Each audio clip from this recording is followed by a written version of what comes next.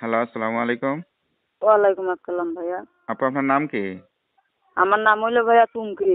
চুমকি আপু। আসলে কি হয়েছে? আপনি যে অডিও কলে প্রতিবেদন করতে যাচ্ছেন আসলে কি বলতে চান? ভাইয়া আমার বাবা মা নেই আমার দাদির কাছে থাকি আমার দুটো ভাই আছে। আচ্ছা আপনার বাড়ি কোথায়? আমার বাড়িটা ভাইয়া সুনামগঞ্জ। আচ্ছা আচ্ছা। তো ওইখানে কি জায়গা জমি টমি আছে স্থানীয় নাকি ভাড়ার থাকেন? না না ভাইয়া ভাড়া থাকি। আচ্ছা তা মূল ভিটা বাড়িটারি নাই? জি না ভাইয়া। আচ্ছা আচ্ছা। তা আপনাদের আর পরিবারের লোকজন কোথায় থাকে? সুনামগঞ্জে থাকে? আর আর কেউ নাই ভাইয়া।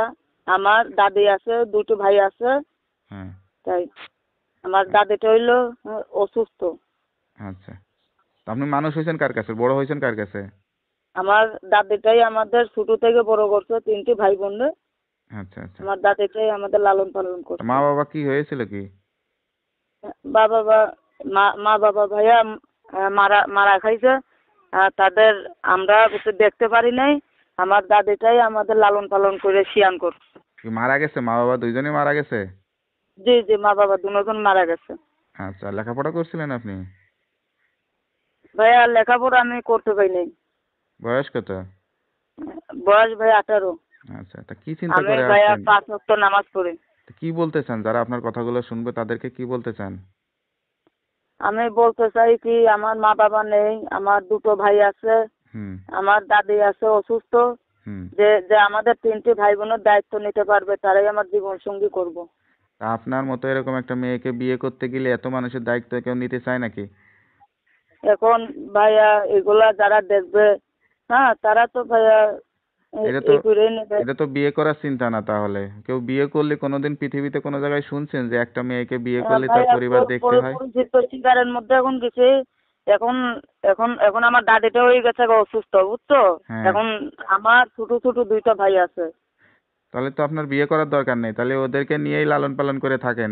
তাহলে ভালো হয় না না- না ভাইয়া এখন এখন আমাদের ভাইয়া মনের মধ্যে একটা ঢুকলো কি যে যদি একটা ভালো মানুষ পেতাম তো তারাই আমার জীবন সঙ্গী করতাম। এখন ভাইয়া কপালের মধ্যে যা আছে হ্যাঁ। তাই তাই ভাই আমাদের হবে। আচ্ছা সেটা কীরকম মানুষ বিবাহিত না অবিবাহিত পুরুষ চান আমি ভাইয়া বিবাহিত মানুষ চাই না। হ্যাঁ অবি- অবিবাহিত মানুষ চাই। হুম।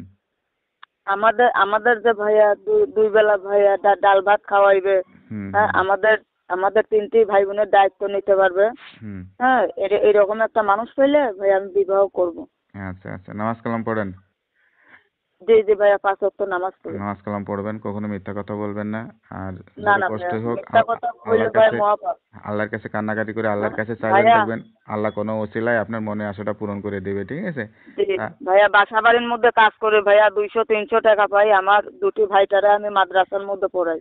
আচ্ছা তো আপনার সঙ্গে কীভাবে যোগাযোগ করবে? মানুষ তো একটু চেহারাও দেখতে ভাইয়া চায় যে আমিও ভাইয়া ভুরকা দিয়ে যাই ভাইয়া ভুরকা দিয়ে আমি আবার আসি বুঝছ?